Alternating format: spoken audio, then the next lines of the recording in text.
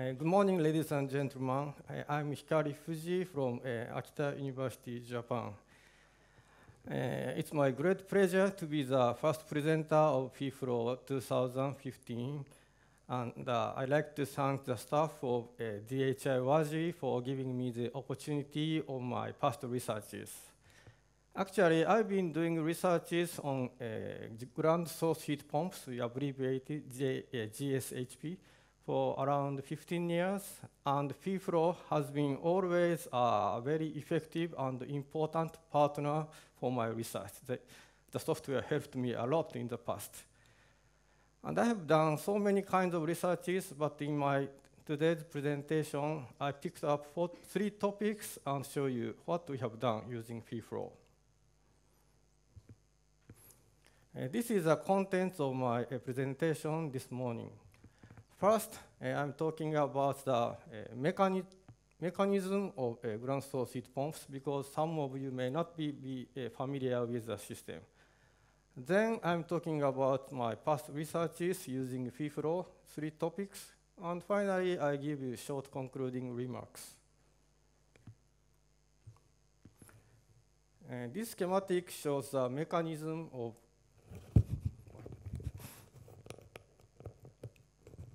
ground source heat pumps.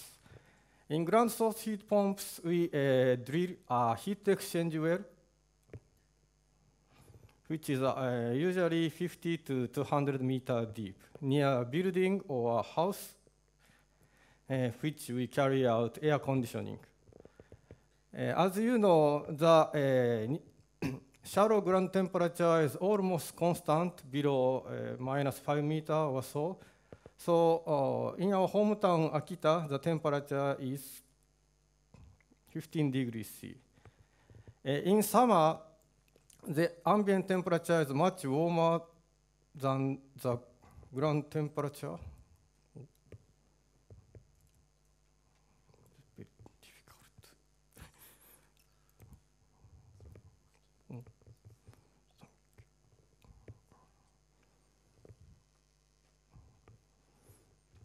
So ground temperature is much cooler than the ambient temperature.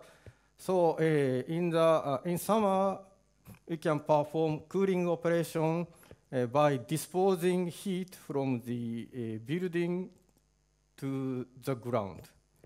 In winter, the ground temperature is much lower, uh, much higher than the ambient temperature, so we can uh, perform heating operation by uh, extracting heat from the ground. So this system uses the nature of constant temperature of the ground. Uh, this figure shows the uh, current statistics of GSP, GSHP system distribution. As you can see from this figure, the system is quite well distributed in European and American countries, but the installation of Japan is very, uh, very, very few at the year of 2010. Uh, this uh, sentence shows the recent statistics at the end of 2013. Uh, so recently, the annual number of installation is uh, 300 systems per year. So it's a kind of increasing these days.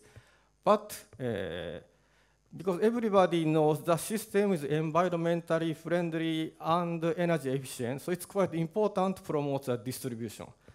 Uh, so uh, for the uh, wider installation of the system, uh, the important uh, factor is to increase the unit heat exchange rate at the heat exchanger. In other words, to minimize the heat, uh, heat exchange length of heat exchange well. And also, as you know, the heat extraction rate from the ground heat exchanger is strongly dependent of the thermophysical properties in the ground and also the velocity of groundwater flow. And these factors strongly depend on the uh, uh, installation point. In other words, so it's different uh, location to location. so another good procedure to promote the installation is develop a potential map to show the uh, suitability of the installation of ground, uh, ground source heat pump systems. Uh, so the first topic is uh, focused on the development of potential maps. Uh, this potential map is classified, uh, divided into several steps. In the first step, uh, we carry out field survey of groundwater uh, at the water pumping wells or some observation wells. So in, uh, and the next step is uh, field-wide uh, modeling using FEFLOW. And after developing the large-scale model, we con construct a, a GHE model. GHE model is ground heat exchanger, so just a single well model. So using this model, we can predict the uh, heat exchange performance at each location, and based on the result, uh, we complete the potential maps. Uh, this small potential map shows the heat exchange rate per unit well length, but this could be the necessary well length, or it can be a ranking like ABCD. And for this process and uh, large-scale modeling and GH modeling, we use the FEFLOW. Uh, this map shows the target area of our research, which was carried out uh, around eight years ago. The target area is located in Kyushu Island, the west part of Japan. The size of the target area is 70 kilometer to 55 kilometer, and we uh, performed a field survey of groundwater at around 50 points. The blue and pink uh, circles shows the ground location of groundwater wells where we measure the vertical temperature profiles and also the groundwater level. And uh, at the, these uh, yellow and red points, we took samples from a river or spring to check the water quality. The sampled water was analyzed for the concentration of ions and also the uh, isotopes to assist the, or to be the uh, important uh, data for modeling the groundwater flow. Uh, this grid map shows the 3D view of the large-scale uh, groundwater flow model. So the size is 70 to 55 kilometers. Uh, the geological layers are divided into three uh, geologies. The top layer, layer 1, 2, is a clay layer that only exists uh, at the uh, coastline. Uh, this is ocean, coastline. And the second one, from layers to 3 to 10, are the uh, sand and gravel layer with good uh, hydraulic conductivity of quaternary system. And below the uh, sand and gravel layer, we have a basement of andesite.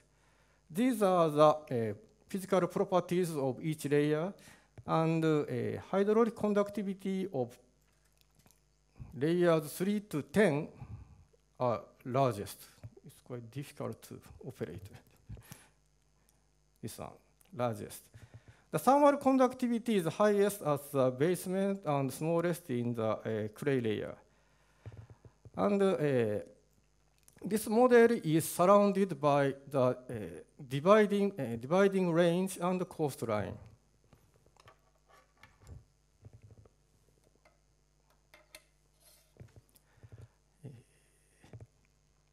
So uh, now uh, we can run the FEFLOW and we can calculate the uh, groundwater velocity and also temperature profile at uh, any place in the model area. Then we validated the field scale model using our field survey result. Uh, these three figures show the vertical temperature profiles at these three points and the pink symbol is uh, simulated data, and uh, dark blue shows the measured data. As you can see, we got quite good matching uh, between the observed and measured data.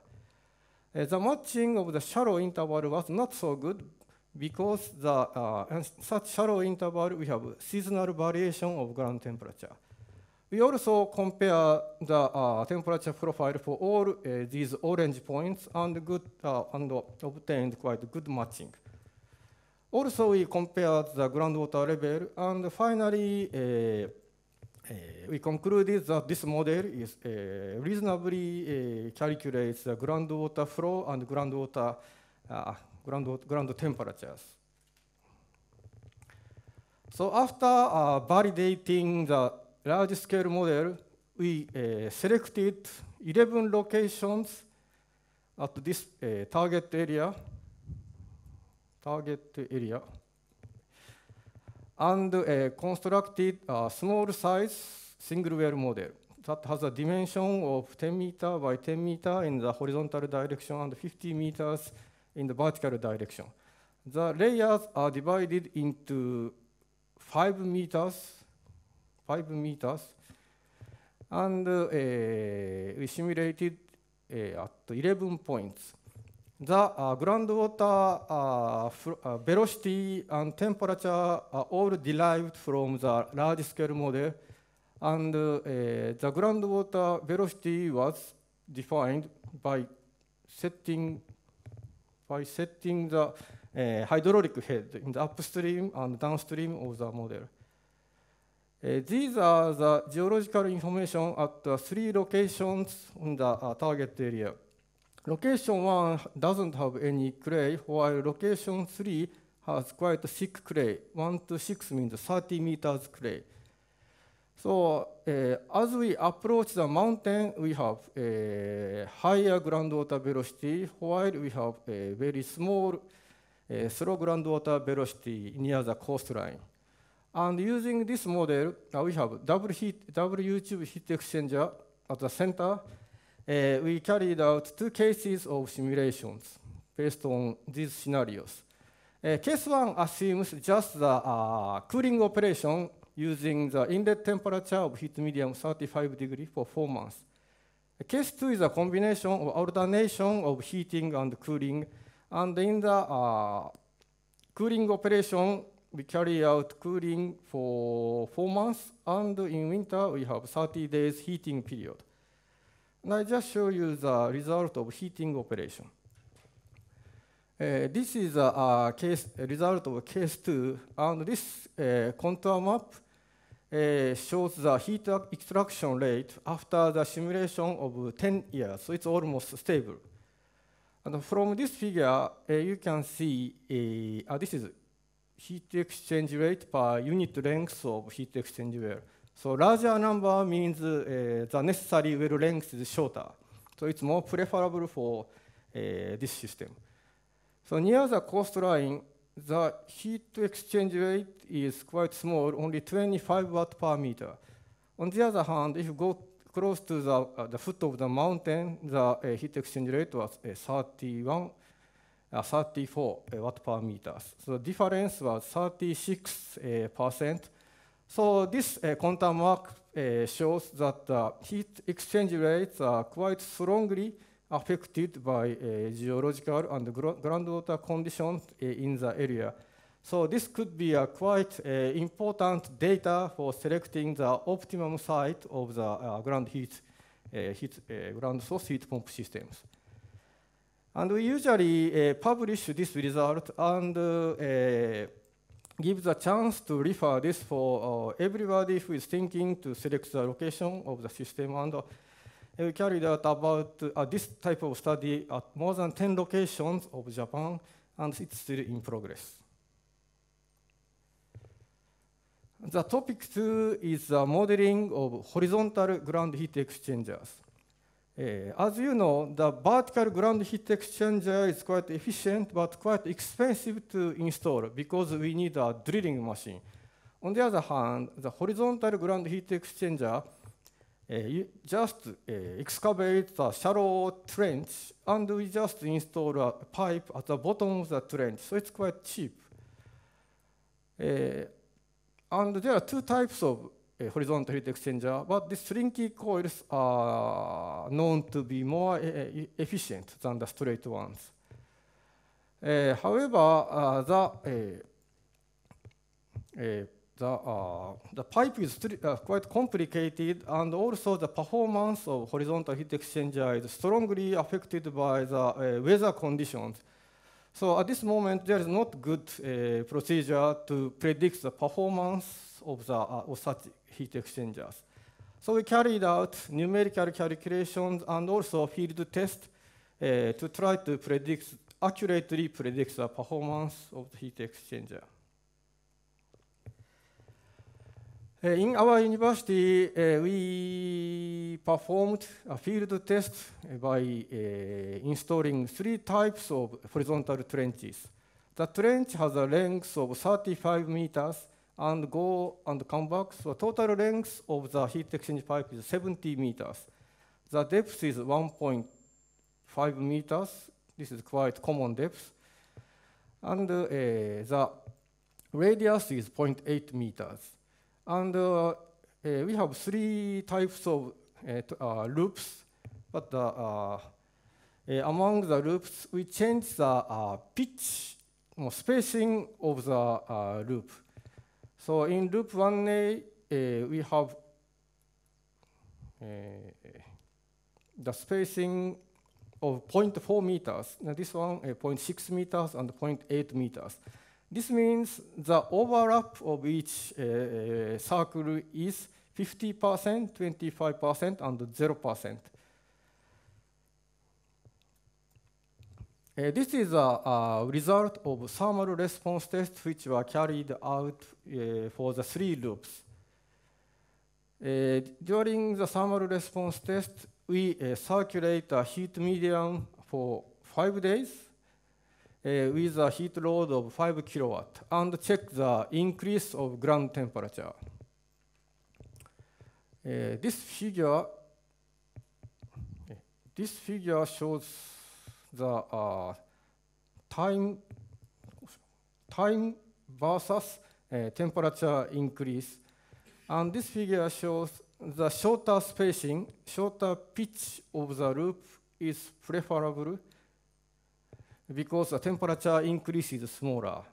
Because if the temperature increases more, it means the uh, energy efficiency of the heat pump becomes worse. So based on, ah, and also we carried out long-term heating and cooling tests, and uh, we use such uh, field test results to validate the model. We use FEFLOW for the modeling of the uh, Slinky coils. The size of the model is 24 by 55 uh, meters in horizontal direction, and uh, vertical depth is 20 meters.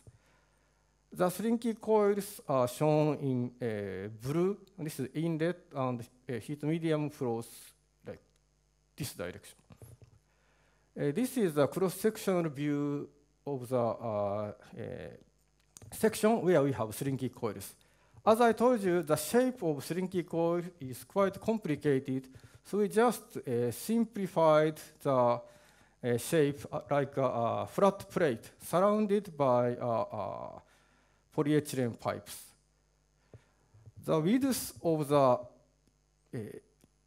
flow path is eight, 80 centimeter, same as the actual, but we adjusted the thickness of the flow path because uh, the traveling time from the inlet to outlet must be equalized to the actual data. So that means uh, if the pipe density is larger, uh, the path is thicker. And also, uh, we use the thermal conductivity of the pipe as the matching parameter uh, to model the heat exchange performance. And also, uh, as I told you, in the uh, horizontal heat exchanger that is uh, installed in a shallow depth, the influence of the uh, weather condition is quite influential. So uh, for this modeling, we developed a, module using C++ uh, to calculate the sensible heat flux, latent heat flux, and such factors. Uh, this is a result of history matching in the case of heating at loop 1A, the uh, highest density case. Uh, this figure shows the matching result of outlet temperatures during the uh, heating test. In the heating period, uh, we switch on the heat pump for 16 hours per day and keep it off for 8 hours and repeat it for 38 days. And this is the outlet temperature calculated by inputting the inlet temperature. And this figure uh, shows the simulated and measured outlet temperature agreed uh, quite nicely. Uh, this figure shows the matching result of ground temperature at this point, but not the depth of Slinky coil, but 50 meters above the uh, coils. And uh, this dark blue symbols shows the measured data using the PT100, and this uh, pink line shows the simulation result with the consideration of uh, surface heat flux. Uh, you can see quite good agreement between the two temperatures. The uh, blue line shows the simulation result without the consideration of heat flux, but just using the aver daily average temperature at the surface uh, temperature conditions. You can see there's big difference between the two. So just the consideration for temperature is not enough, but we have to think or include more factors to accurately predict the ground temperature. The right figure shows the temperature distribution uh, at the depth of slinky coils. This is the inlet and goes uh, like this, and it's quite difficult to see, but the change of the water color becomes uh, darker to lighter as approaching to the outlet. This is a heating operation, so the heat medium was cooled down while flowing from inlet to outlet. Uh, this is the last topic of my uh, presentation. Oh, sorry, sorry.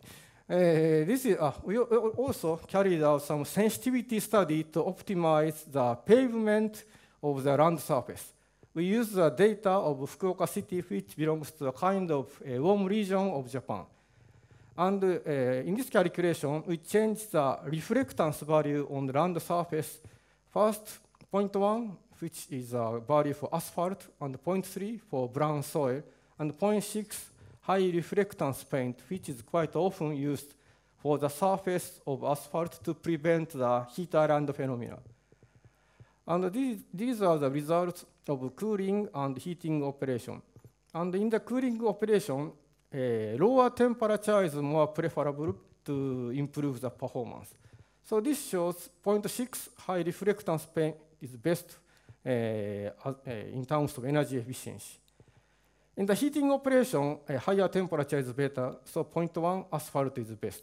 But if we consider the total energy, annual energy consumption, uh, the high reflectance paint was uh, determined to be the best surface pavement. And this is the last topic, uh, the free convection in ground heat exchangers. Uh, usually, ground heat exchangers are filled with uh, sand or cement or bentonite, uh, but free convection may affect the uh, promote the heat exchange. So we made some lab tests to uh, see the effect of the difference of conductivity, hydraulic conductivity of the filling material. Uh, we, uh, we tried water or large gravel, small gravel, silica sand, just inside the well. And in the center of the well, we have a coaxial ground heat exchanger. Uh, this is a result of the uh, lab test for the case of water, large gravel, and silica sand. And in each test, we set the inlet temperature uh, three cases. Minus 10 means room temperature minus 10 degree, and uh, 10 degree is room temperature plus 10, and this one uh, 20 degree. Room temperatures are usually 20 degrees C in the laboratory. So in this case, 10 degree in the temperature and 30, 40 degrees. And of course, the heat exchange rate increases uh, with the increase of uh, delta T.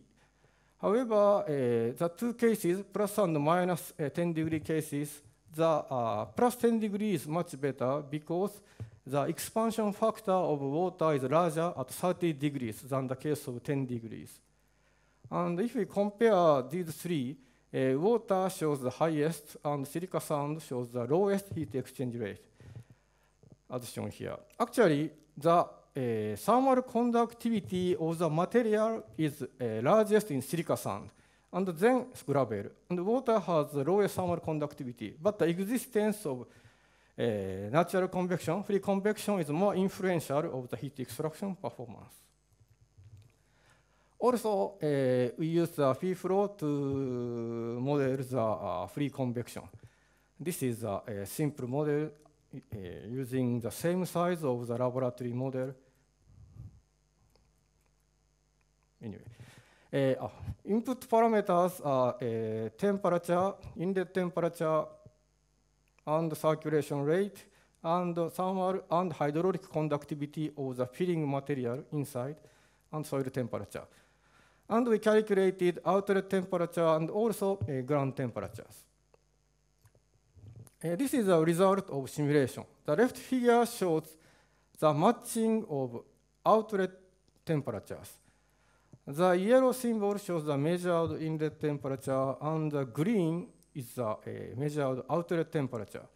First, we tried without natural convection by setting a very small hydraulic conductivity in the filling material, but as you can see, we got very poor matching uh, between the measured and calculated.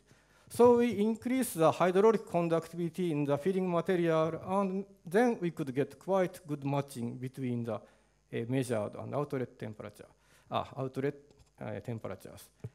Right figure shows the uh, flow velocity of water in the model. So this is inside the well, and you can see there is a, a good natural convection of water coming up along the uh, heat exchanger and going down along the uh, well wall.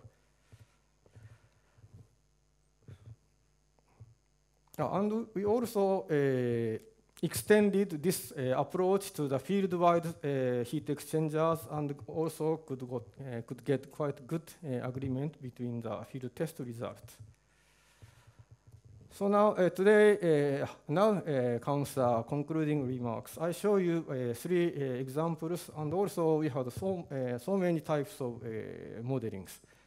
And FEFLOW has a great flexibility for the modeling of eh, various type of eh, ground heat exchangers, which, of course, need some effort, but not so much. And uh, this is a big merit for us. FEFLOW usually takes a few days for the young students to be able to operate, but not to understand. But this is a very big merit for us because they come to our, our laboratory in the last year of the undergraduate, and some students just leave the laboratory after staying less than one year. So they recycle. Uh, they come and go, but uh, they, they have to uh, do something. So uh, it's quite, FEFLOW is always helping our research. Okay, thank you very much.